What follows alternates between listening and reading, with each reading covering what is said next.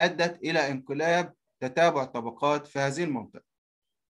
تمام؟ نخش على المبدأ الرابع principle of stratal continuity أو ال lateral continuity اللي هو الامتداد الأفق أو الأفقية الأصلية. بمعنى إيه؟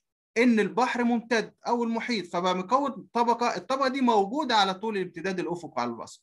طول ما أنا ببص في الأفق هلاقي إن الطبقة دي أفقية أهي. لو بصيت مثلا عندي هنا مثلا في الطبقة أهي طول ما أنا ماشي كده الطبقة دي ممتدة معايا على طول.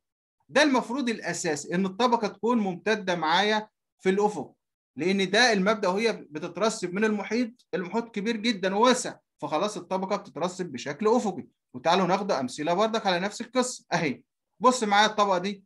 ده الطبقه هي عندنا بردك من صخور عصر الميوسين موجودة في خليج السويس في البحر الأحمر في منطقة سفاجة القصير. ودي من الطبقات اللي أنتوا إن شاء الله بالنسبة لكم هتدرسوها اللي هي إيه؟ بتحوي على رواسب الجبس. خام أو معادن الجبس. ده طبقة لو بصيت لشباب الطبقة دي دي طبقة أفقية وماشي على الامتداد الافقي طب تعالوا بقى أنا همشي مع هذه الطبقة وأشوف هل هتني ماشية مع الافقي إلى ما لا نهاية ولا إيه اللي حصل. نفس الطبقة دي. انتقلت لمكان تاني. آه بص الطبقة بقت فين؟ نزلت تحت طبقه وبقت طبقه مايلة. تاني بقى بص ماشي معاها كده. هل هي ممتدة هنا ولا جه هنا اتغير؟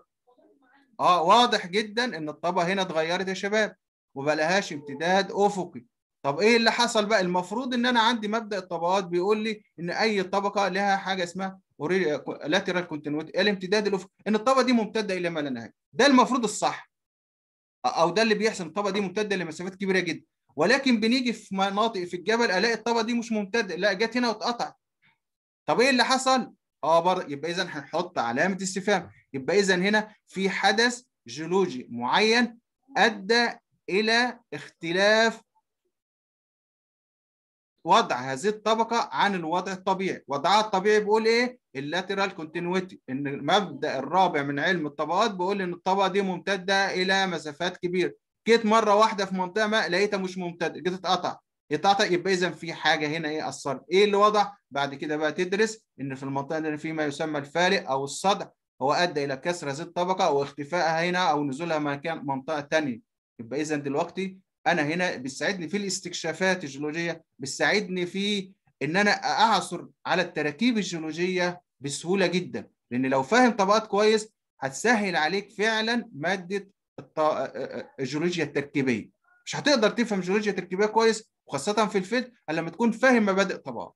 لأن مبادئ الطبقات لما تلاقيها مبادئ الطبقات موجودة خلاص مفيش مشكلة. أما تلاقي مبدأ مش موجود وغير مفعل وغير مطبق على مادة يبقى اذا في في حاجة أثرت هذه على هذه الطبقات خلتها ما لهاش امتداد أفقي ومعظم هذه التأثيرات هي نتيجة حركات تكتونية أو جيولوجيا تركيبية.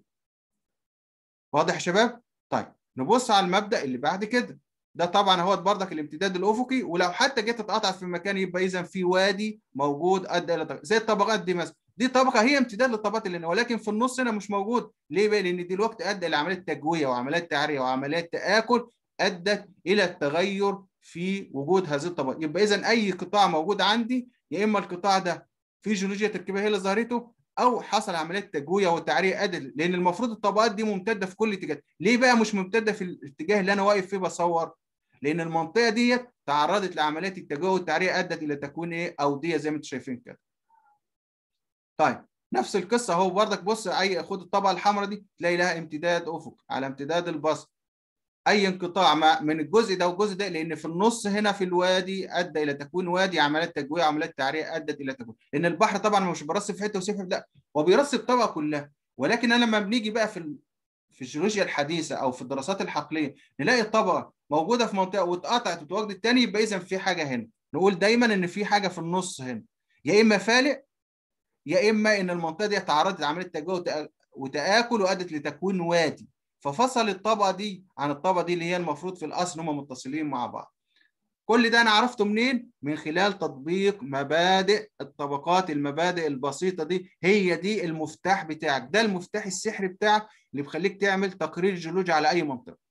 يعني ده بالظبط هذه المبادئ اعتبرها المفتاح السحري اللي هي نقطة الانطلاق اللي انت هتقدر تعمل عنها تقرير جيولوجي عن أي منطقة وتقول إيه الأحداث الجيولوجية التي حدثت في هذه المنطقة. نيجي